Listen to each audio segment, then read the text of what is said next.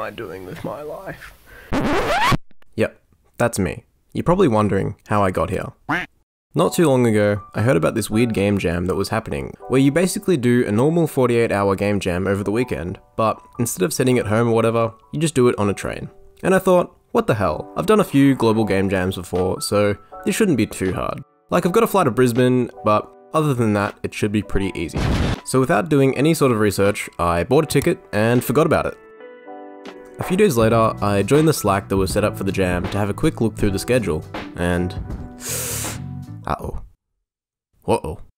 I looked through the Slack a little more and found there was a, you know, another really small, very tiny issue. Um, probably not even worth mentioning really, but turns out the uh, trains um, didn't have power uh, or internet, so yeah, you know, not really, not really a big deal. It's not like it's not like you need that for, for making for making games, for making games or anything, you know. The jam was based on a similar jam that happens in the US, and right before buying a ticket, I kind of figured, well, you know, these guys can do it. It can't be that bad. But it turns out the US jam is over 52 hours instead of 48, and they have a super nice modern train that has power, sleeping carriages, tables, heaps of spaces, just for participants. It's like train jam heaven. Our bootleg Australian version, on the other hand, had no power, spotty internet, aeroplane style seats with this tiny tray table, way less space, and we shared a regular train with civilians, as we called them, um, who were mostly bogans. Oh, and uh, you know, 5am starts, so excellent. Out of all of these, power was definitely the biggest constraint as there's no way my laptop that runs on like AA batteries is gonna make it through the day running something as power hungry as Unity. So the organizers bought these little battery packs which was all well and good, but there weren't enough packs for everyone, so each team only had one pack and the packs only provided a few hours of power. Some jammers got really creative with this constraint. Um, some people bought iPads to make art on, one jammer made all their art from watercolor sketches, but my favorite were the people that bought their pocket chips and made games with Pico 8. The Pocket Chip is like this uh, big Game Boy sort of looking thing that runs Linux and is super low power. I set up my own as a little Git server with an access point so we could all share files and be super cool, but we ended up just using USB sticks instead. So whatever, it's cool. It's not like I spent four hours getting that set up or whatever. I also managed to hack my beat up Surface Pro to go into like mega power saving mode with some registry hacks. Only problem was it made everything super slow. It's okay. Unity. You go when you feel like it. Anyway, so jam day rolled around and I flew up to Brisbane, checked into my hotel, and made my way down to the info night. They covered things about our schedule and stuff, like power saving tips and all that good stuff, but most importantly announced the theme, which was lines. Pretty easy as far as themes go, since you could probably find lions in just about anything, but it's probably for the best since the jam was definitely hard enough already. After a bit more info, we got into team forming.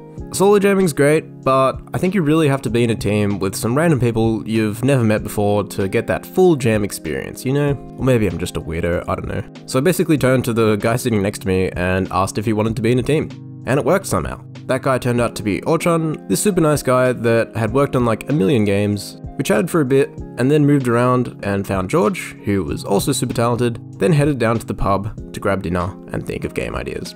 So I felt a bit like this in the team, but it's it's cool. Getting everyone to agree on a game idea is usually really tricky, and this time was no exception. The best advice I've heard about this was at my first game jam, where they basically said to throw out the first two ideas you have and go with the third, which has somehow always worked well for me. My immediate thought for the lines theme was this FPS where all the bullets you fire would leave trails, and then those trails would turn into lasers, meaning you couldn't move past them. You'd then have to figure out how to clear a level with a few enemies without blocking yourself in. Whether this actually works in practice is, uh... I then thought instead of having the lines be lasers, it might be cool to have it so the player can only move along the lines they shoot. But since you have a limited amount of bullets, you'd have to decide between shooting enemies or saving enough bullets to be able to get out of the level. We then got really set on this fishing game somehow, because fishing minigames are sick. And you know fishing lines would suit the theme or whatever, but you know, mostly the first reason. So this idea turned into like a fish assassin game somehow, but the team wasn't sold on it, so we moved on.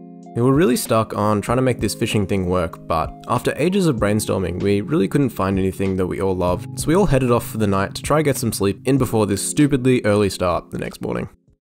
So the morning rolled around and I headed off to the station after having about 5 alarms go off. I managed to get about 6 hours sleep, but still felt like crap somehow. But that didn't stop the organisers taking photos like everything was cool. Anyway, all aboard and off we went. After sorting out our seats, we got the team together and started talking ideas again, which was over surprisingly fast. Steve, this guy who'd left the team to go make a sick poetry game, mentioned as an offhand comment that it'd be funny to be a fortune teller that pretends to read your palm but is actually secretly scrolling your Facebook profile under the table. I don't know if it was the lack of sleep, but everyone was just immediately on board. Such a stupid game idea that I, I just couldn't say no. We then got into workshopping it and talking about if it was actually a viable idea, since we really wanted to have a solid plan before firing up our laptops to save power. Because if you really think about it, it doesn't make a ton of sense. Like, how are you supposed to predict someone's future from their Facebook posts? So we got talking about the things people share over social media and how we could use that. We also thought it'd be cool to have clues about the character on their hand, like, you know, a missing wedding ring or like a bit of tomato sauce, but we couldn't really find a way to make it work. We decided early on that the game would be split into a few different views, one of the person you're telling the fortune of, one of the hand you're reading, and one of the phone. Making characters was definitely the hardest part, since we're all pretty great at development but terrible writers. We ended up with a heap of scrapped ideas for characters, like a serial killer, a closeted gay dude, a lonely dude, and a thick dude. But we couldn't really get them to be funny enough, or couldn't really find ways to flesh them out. Lonely Dude kinda turned into this creepy character that we had a few funny ideas for, but we put it on the back burner and actually started to make the game. The work split really nicely. George would make all the art on his iPad, Orchon would make the Facebook feed, and I would put everything together and make the dialogue and interaction system. By about 2, I had the dialogue and data loading system up and running in a pretty rough state, I also just had to use this very sexy picture of uh, Danny DeVito that I had lying around, don't ask. Orchon had the Facebook feed UI looking pretty good, and George had made a single hand. But by god, it was a good looking hand. As we were working on the game throughout the day, we chatted every now and then about character ideas and slowly built up the character of Creepy Dude, which we named Cecil. We thought he should be pretty creepy, but also incredibly hateable and annoying as possible. So we had this stuff in his feed to make him seem like kind of a terrible person, like blocking walkways and how he doesn't shower. George then showed us some of his character designs, and my god. when I first heard the game idea, I thought it'd be super lighthearted with this really goofy art style, but George really steered it in this super weird, super surreal direction, which was really awesome. He showed us a few different character designs, and the one for Cecil was just so distinct, but so damn weird, we, we just had to choose him. I'm, I mean, just look at this dude. We also found ourselves an audio guy, Tom, to make some sweet background music. Anyway, he banged out this awesome little tune just with GarageBand on his phone. I think we just kind of told him to make something mystic and he, off he went. It turned out really great. In between coding, I took little breaks to Photoshop stuff for the feed. Instead of spending ages drawing each photo, I thought it'd be really funny just to edit like stock photos. So when we were in pockets of mobile reception, I was frantically googling around for photos that we could make into posts. To try and match the rest of the game, I chucked a filter on them all and just kind of popped the character's face on there. We finally arrived in Sydney around 9 and made our way to a local uni there that had organised some nice tacos and beds for us. By the end of the first day, we had the game running pretty well, with the data loaders for the Facebook feed and the dialogue up and running. We just needed content to fill the game with. So we ate some tacos, charged all our batteries and tech, and headed off to sleep.